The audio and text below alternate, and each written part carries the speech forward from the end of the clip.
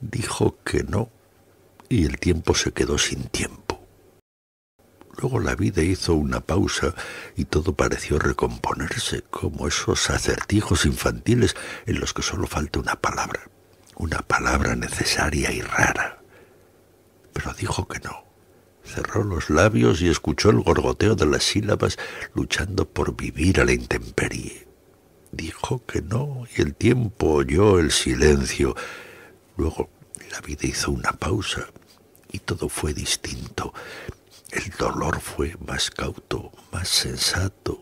La lujuria lloró en su madriguera y el tiempo inauguró sus máscaras.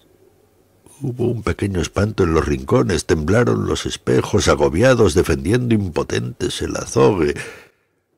Los pájaros callaron esa tarde y la luna brilló blanca y sin manchas. Ardió la noche como vieja tea con la absurda avaricia de la muerte con su luto distante y pegajoso y un rencor resabiado y carcomido descargó como lluvia en el desierto. Entonces, solo entonces oyó a su corazón ladrando y se volvió despacio a los espejos y los vio tiritar con mucho frío y pedir compasión desde su escarcha y no supo qué hacer con tanta desmesura.